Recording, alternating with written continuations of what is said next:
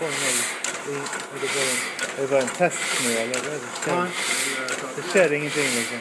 Nei, det her skjer ingenting. Vi bare kjører inn fargen. Vi får fordele fargen på sylinderen.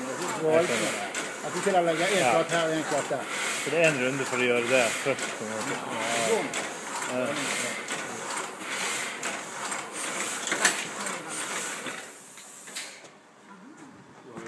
av trykket mye. Ser ut som det skal komme fram noe. Ja. Ja. Vi gir den litt, ta litt og litt, så ikke vi knuser noe.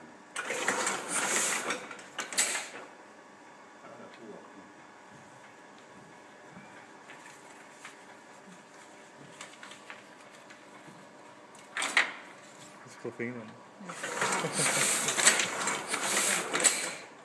Nå begynte Ja, det, å bli en trøkk her. Ja, det kommer seg. Det mangler litt her. Jeg var på mye ikke det der er noe Det kan- ødelagt i klisjé. Ja, Det det er det kan, det kan Det er noe. Så det var noe som var veldig godt etset. Altså.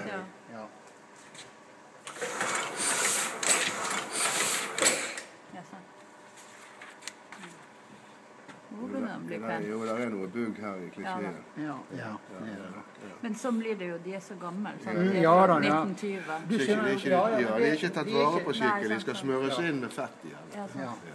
Hvis du har uh, syrefri vaselin, så er det, Så det er det som skal på så er det, dem. det som skal på dem.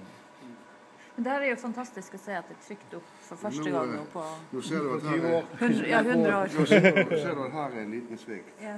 Og det er merket, det, det, det er fordi dekken her er slitt.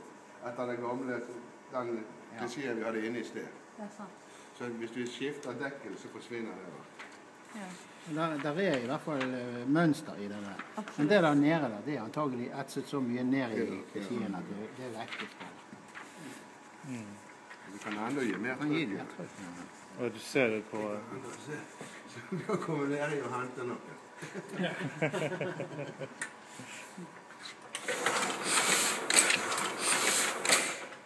Ja, sant. Ja. Ja nå. Ja. Ja, det blir veldig fin. Det kommer seg. Så den jevnere over Er det blomster det skal være der? Ugress. Er det ugress? Ja vel. Første, andre og tredje premie for ugress. Ja. Ja, men det er jo han fikk andreplass, ingen som vil ha. Det kan jo være litt av sjarmen. det. Ja, ja da, Det det er patina, det der. Det er det. Det det heter? Ja. Ja, ja. Du kan jo godt prøve en av de andre klisjeene. Nei, jo, vi har papir, men vi har ikke sett, vi har ikke sett det til. Vi har det så steikende travelt. Noe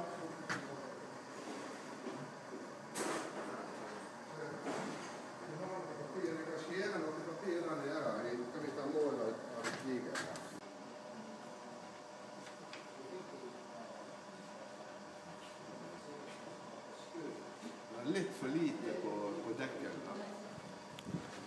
Og da kan du se her er mer trykk eh, oppe på, på formen. Dette er jo oppe ja, ok. det går sånn. Så det er oppe. Så dette her er sånn det Denne digertypen heter galli-typen. Den, den svinger på en sånn arm nede.